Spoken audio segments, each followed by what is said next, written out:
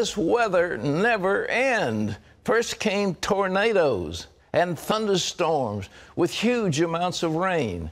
And now the worst flooding in decades has swamped part of the Gulf Coast in Florida and Alabama, and even as far away as Maryland. So far, the violent storm system has killed at least 37 people in eight states. Caitlin Burke has the story. Flood warnings remain in effect all along the East Coast Thursday. Days of relentless rain, too much for creeks and streams to handle. The floodwater has engulfed cars, homes, and in Baltimore, it even caused this road to collapse, sending cars tumbling over the edge. The sidewalk's gone, the cars are gone, and everything just fell. It was like somebody came by and just ripped off the side of the road. Pensacola, Florida saw nearly two feet of rain in only 24 hours. That equals about 9 billion gallons of water, the most the Florida Panhandle has seen in a generation. Hundreds of residents were forced to leave their homes, canoeing to reach higher ground. Other motorists were trapped in their cars for hours waiting for help to arrive. Operation Blessing arrived in Pensacola late last night. Today, teams going out into the community to offer aid to flood victims. This is that same massive storm system that unleashed at least 65 tornadoes across much of the South. Operation Blessing is also in Tupelo, Mississippi, where many of the residents lost everything. Basically, uh, everything looks kind of like a, I would imagine a war zone would look.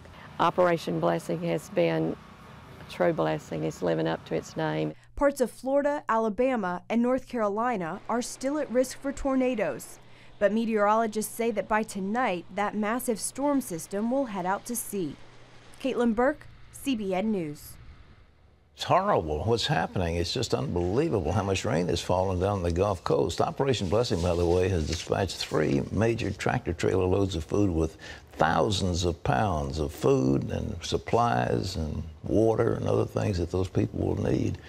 But uh, all of us need to get together to help people in these uh, disasters. I asked our producer, well, what is causing this? Well, it's a, you know, it's a front with a bunch of rain. Well, I understand there are about twice as much rain that fell like in one day in the Gulf as fell in California in the whole the whole season. Unbelievable. It's un, it really is.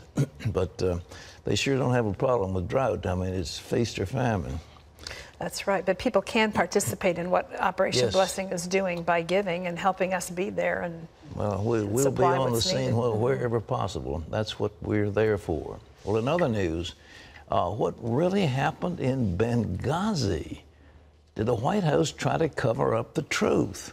Republicans think they have evidence to prove that was the case. John Jessup has that story from Washington. Here's John. That's right, Pat. Republicans say they found the smoking gun that proves the Obama administration tried to hide the truth about that terrorist attack in Benghazi. Three days after it happened, White House aide Ben Rhodes sent an email saying the top goal should be to, quote, underscore these protests are rooted in an internet video and not a broader failure of policy. Former UN Ambassador Susan Rice then repeated that talking point on several talk shows, saying the attack was the result of a protest that got out of control and not a planned assault. Security officials have testified the administration missed or ignored warning signals of the attack. Republicans say the White House was trying to protect the president from any political damage during his reelection campaign. Pat, you got to expect that there's going to be more hearings on Capitol Hill. Well, you get sick of hearing about it, and you know, Hillary Clinton says, "Well, so what?" Well, people were killed, but the big thing is we've got a president. We we were horrified about Nixon and the White House and the burglars and the break-in and all that stuff that went on uh, during the scandals of the Nixon administration. But we've got a president that's every bit as bad. As a matter of fact, worse, it looks like. I mean, this is a deliberate attempt. And to take the, the uh, UN ambassador and stick her out on public television to repeat over and over again the party line, which was based on a series of falsehoods, that is appalling. John. Pat, scores of girls and young women kidnapped by an Islamic terrorist group in Nigeria are being forced to marry the men who took them. Their parents say the girls are being sold by members of the Boko Haram terrorist network for as little as $12. And as you can imagine, outrage is growing over the Nigerian government's failure to rescue the more than 200 girls kidnapped two weeks ago. Hundreds of people braved heavy rain as they marched to the National Assembly to demand the government do more to find and bring the girls to freedom. One community leader says Boko Haram is demanding a ransom for their release. Deadly superbugs that are stronger than the most powerful drugs are spreading around the globe, and the World Health Organization warns the problem's only going to get worse. The bugs have developed from bacteria which built up resistance to antibiotics, making drugs virtually ineffective. And that means in the future, even more common, uh, even common infections or minor injuries could lead to death. Pat, this is a serious problem that's not getting enough well, attention. Uh, it's, a, it's a major story today, and I think people need to recognize. They say if a little kid is riding his bicycle and he scuffs his knee, he falls off the bike, he can die. That's what they're talking about. They can. I mean, it's that serious.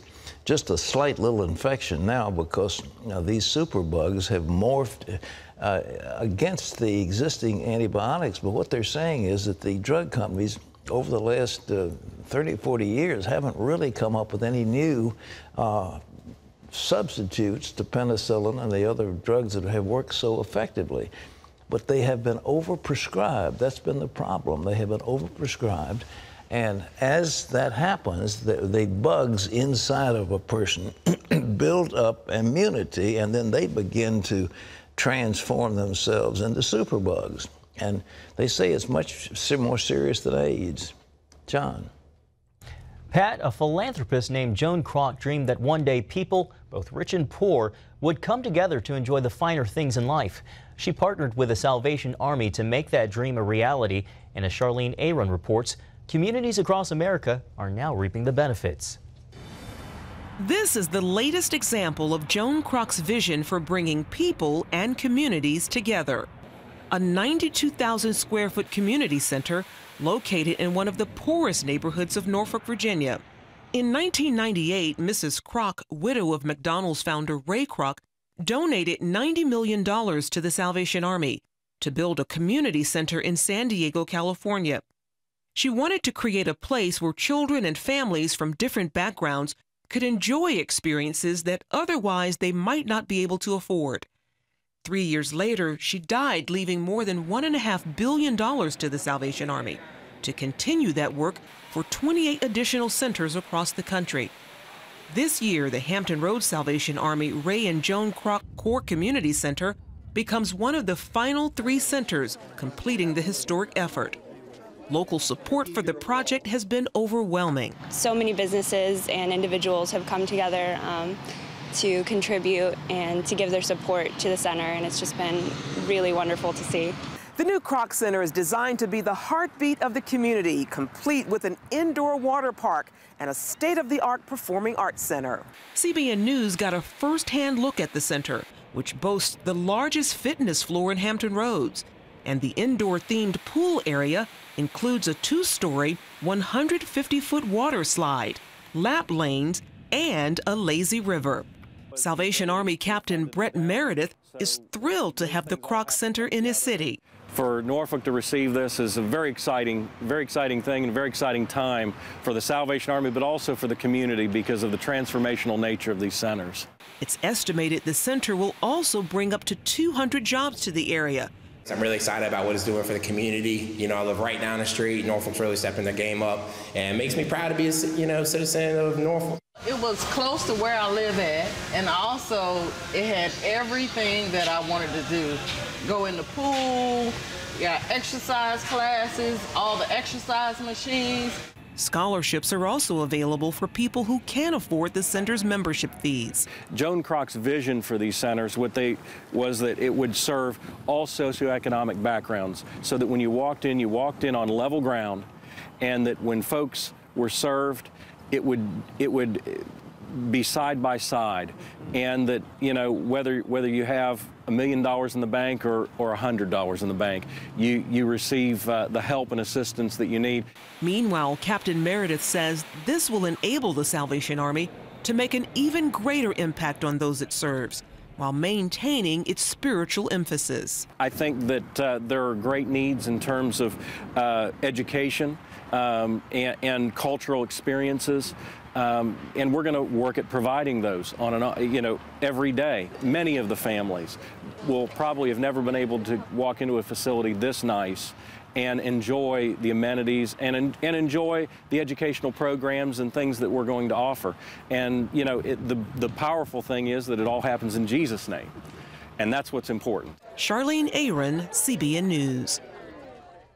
Pat, what an amazing gift. Oh, it really was. I mean, it was a billion and a half dollars, and I mean, it's built on hamburgers. Let's face it. I mean, that was the McDonald's hamburger. You know, billions and billions and billions of hamburgers. Yeah. So that's where Ray Kroc got his money, and uh, he left it to his wife. His wife, in turn, left a good portion of it to the Salvation Doing Army. Doing something good with it. That's and uh, it's it's a beautiful it? center. I, I, we have a gentleman here who's just passed on. His name was Josh Darden, uh, who was the uh, uh, spark plug and spearhead of the local initiative because Joan Kroc said you've got to have some matching money. So I think they they raised something close to thirty million dollars. Wow.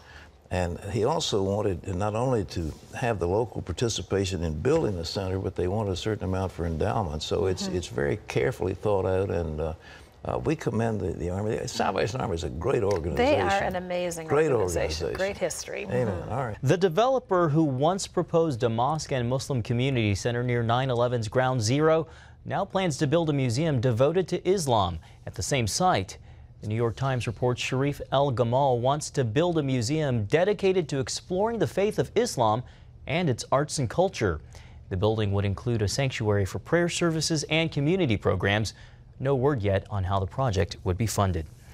Well, today is the annual National Day of Prayer, and people are taking part in an estimated 40,000 events around the country, many at both local and national government buildings, including Capitol Hill right here in Washington, D.C. You can find out more about the National Day of Prayer and get the latest from CBN News by going to our website at cbnnews.com.